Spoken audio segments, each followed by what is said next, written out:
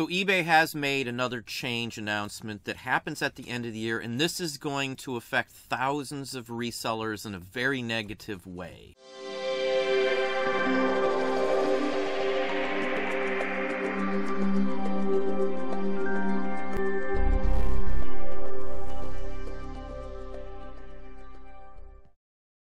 Hey, it's Don. Today we're going to look at something that eBay just announced a few days ago. Now, this won't affect everybody out there. This is for those who use Shopify and cross list your items through eBay's app. Now, here is a post from eBay right here, and this is talking about the eBay app. And this is from Connect eBay Support, which is the basic app we're talking about here. Now, they're discontinuing the app that was used by anybody who wanted to directly hook up to eBay from their Shopify store at the last day of the year. So, starting January 1st, 2023, the app will be gone. That means that if you used that app to hook up to eBay, the listings you create, say on Shopify, won't be fully valid on eBay from everything that I can see. It also means that if you're using that app to sync your items from Shopify to eBay, that sync will be gone. So you'll either have to do it manually or you'll have to set it up with another third party. Now, that may not sound like a whole bunch of work or a big deal, but we started into Shopify and realized it's a huge, long, drawn out process to migrate tens of thousands of listings to a Shopify and then to set up all the syncs. We've tried most of the applications out there that do that, Sellbrite and some other ones. Now, most of those do appear to use some form of eBay's third party app Again, there's no clarification on anything else. This was pretty much buried out there, too. This was not announced majorly across anything, including currently on the Shopify app page for eBay's app. Now, we'll look at a few more as we go through here, but it's also on the message boards as of now. And I know personally people have told me they've received notifications that it's going to be discontinued straight from somewhere at eBay itself. Now, Amazon discontinued theirs not too long ago, if you're unaware of that. I've used the Amazon uh, API from Shopify. I have never used the eBay one because it did not offer the options for best offer. And that is a majority of our businesses through best offer. If I can't do best offer, it made no sense to use it. So we've went other routes for this. This will affect, though, as I said, anybody syncing from Shopify. Now, it took us months just to get our data into Shopify from eBay and make sure it was all straight and figure out how to get all the data, like all the condition boxes, sizes, and measure, all that stuff to be imported properly.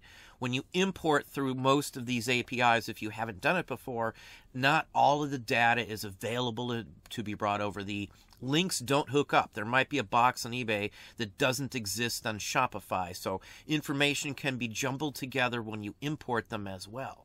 It won't know where else to put them, so it just dumps it in there. So you may have to go through every one of some of your listings, every single one, one by one, and remove, update, and do many, many aspects to make sure it's correct. I personally know people have taken almost a year to get their Shopify, their personal website, and eBay and Amazon all synced together because of the complexity there has been with a lot of this stuff. It depends again on what you're selling, how you're selling it, but either way, the app's gone, so there isn't much you can do. Now, on eBay's message boards, there are conversations on this as well. Now, I've been personally emailed by a lot of people who use this option and who have spent hundreds of hours setting it all up to match their business. Now, all of that time and effort's going to be gone. They're going to lose every bit of time and effort they put in to set that all up because, again, it's going bye bye. This will further limit people selling on eBay to begin with. The Shopify app was free. Some people may not even assume that it's worth their time or effort if they have to pay for it. So I think in the long run, this is going to be detrimental to eBay.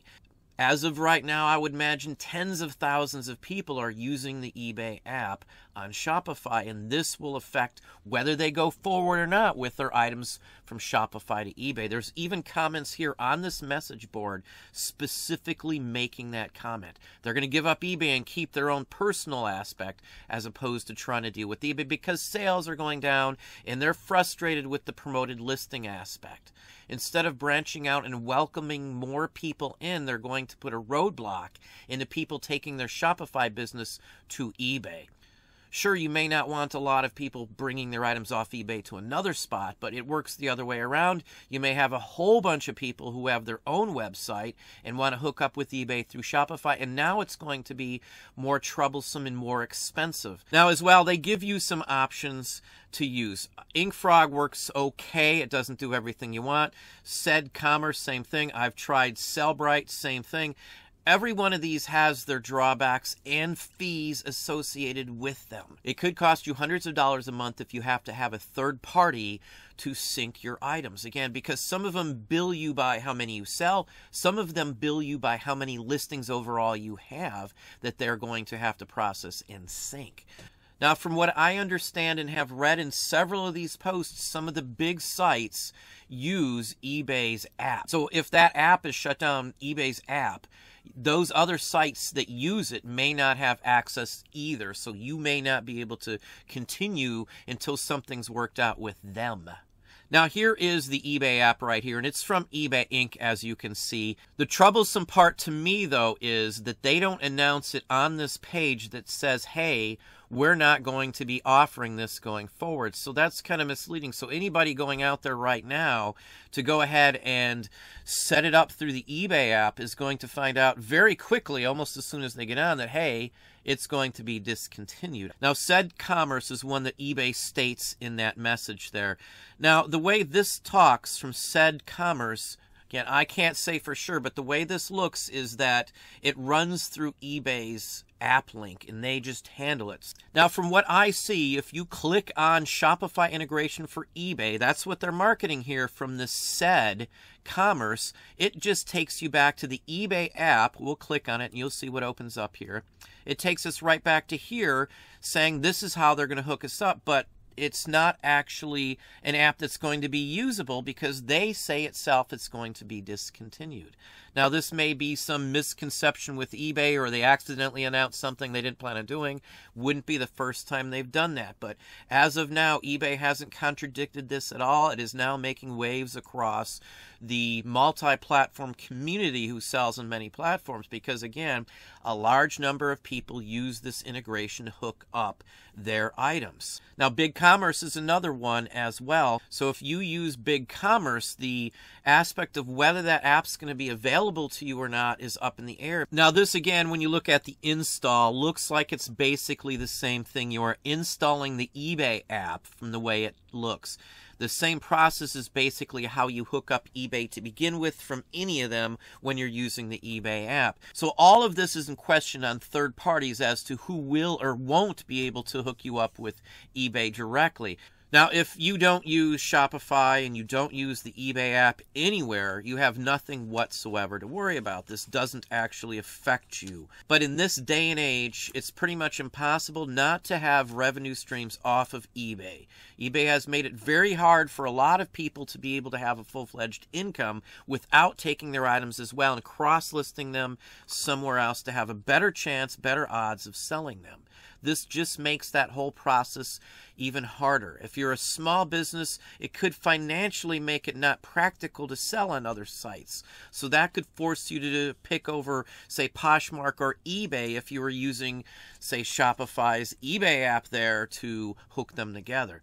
Now, I know in the past eBay has blamed Shopify and Shopify has blamed eBay for issues and glitches and things like that, but everything I can see looks directly as if it's coming from eBay, including some messages that folks that I know receive that, uh, again, appear to me to be an eBay specific official message. This could have some dire consequences for those of us who sell on multi platforms, again, depending on how you use it.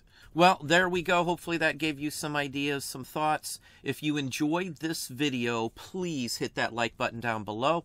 You can also hit the bell icon to be notified if I post new content or go live. Subscribe and tell all your friends.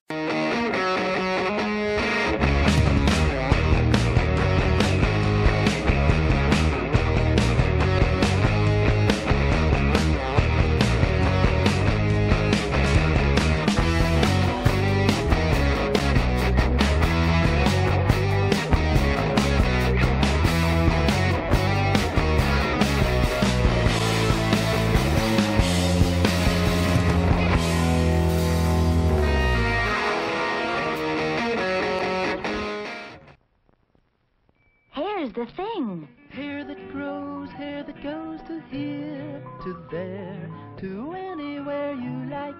It goes. Here's new velvet. Her hair grows, just like her cousin, beautiful Chrissy.